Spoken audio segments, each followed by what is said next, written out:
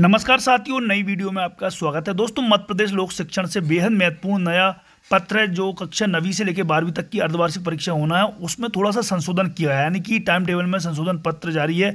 आप समझ शिक्षक छात्र देखें, कक्षा नवी से बारहवीं तक पढ़ने वाले और शिक्षक पढ़ाने वाले। और इस पत्र को आप डाउनलोड भी कर पाएँगे, जो आप वीडियो देख रहे हैं, उसके डिस्क्रिप्शन में लिंक है, उसके माध्यम से। तो आइए देख लेते हैं क्या संशोधन किया गया है लैट को दोस्तों, आप देख सकते हैं, लोक शिक्षण संचालय से चार दिसंबर को यह पत्र जारी हुआ है, समस्त जिलों के लिए है। प्रिंसिपल, जिला शिक्षा अधिकारी के नाम से। शैक्षणिक सत्र तेईस चौबीस की नवी से बारहवीं तक की अर्धवार्षिक जो परीक्षा होना, उनमें आंशिक संशोधन किया गया तो आप देख सकते हैं नंबर एक पे देखें, परीक्षा संचालन कार्य की सुविधा को दृष्टिगत रखते हुए दूसरी पाली की परीक्षाएँ दोपहर दो बजे से पाँच बजे तक के स्थान पर दोपहर डेढ़ बजे से साढ़े चार बजे तक आयोजित की जाएँ।